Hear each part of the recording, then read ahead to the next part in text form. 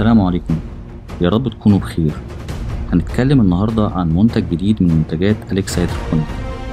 المنتج اللي معانا هو NFT 155 والمنتج ده موفر للطاقة. ليه موفر للطاقة؟ عشان تصميمه فيه مجرى للمحلول المغذي. وبيكون مدخل التغذية من 6 ل 8 مللي على عكس المواسير التقليدية اللي بتكون 16 مللي. وبالتالي بنستخدم مضخة بقدرة أقل.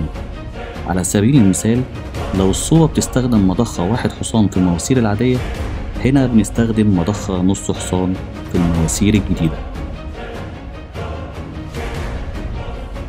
هنتكلم عن مميزات ماسورة ال NFT 155 بنقدر نزرع فيها كل أنواع الورقيات. بيكون عندي كفر للماسورة.